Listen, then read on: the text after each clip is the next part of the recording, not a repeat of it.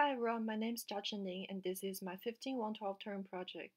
So my project is a three-dimensional art gallery that is composed of mazes. It is an educational game that could train the users to memorize the names of the famous paintings. The first part of my project is the script written in Blender and you can always run script and a random maze will be generated.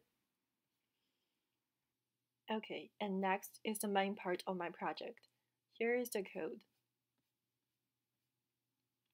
And after seeing the loading screen, you will see this main screen.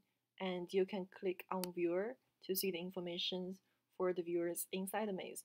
And you can also click uploader.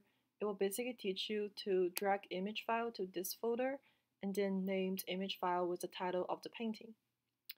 With everything done, you can just press space to get started. Uh, as you can see, there is a timer and it will stop once you reach a certain score. And in this case, I set the score to 4.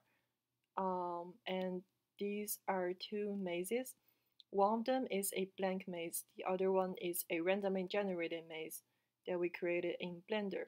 And if you enter this one, uh, you will notice that there is a cactus and the position of these cactus are randomly generated. And if you collide with it, uh, notice that your score is increased by one. And also there is something going on there.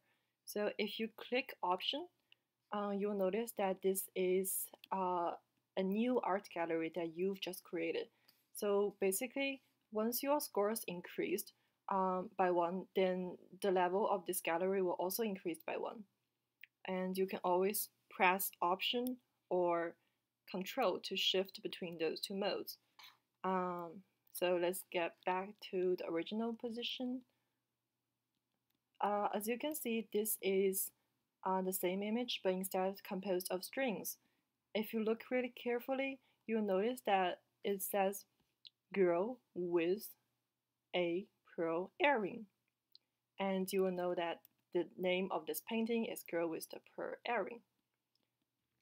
Okay, so let's try another one. Um, enter this one. Ah, uh, okay, this is a maze. So you can always um, press 1 or 3 to move around uh, ch and change directions. Okay, here we go. Um, so this is another image um, with the title of the painting. If you think you remembered all the names of the paintings, you can just press tab. And this image of, is a combination of two images. If you don't remember their names and you just type some random things, and once the length of the things you type is greater than the correct answer, it will say you fail, and you can try again. Um, for example, this one, uh, it's girl with a pearl earring. And the other one is the son of man. and says you win.